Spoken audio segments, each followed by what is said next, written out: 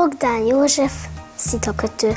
Mit kötsz, mit kötsz, szitakötő, tócsa fölött törönködő, szitát kötök, kis szitákat, eddig megkötöttem százat, hogy kötök, kötögetek, egyszer elkapott egy gyerek, neki adtam minden kincsem, ezóta egy szitám sincsen.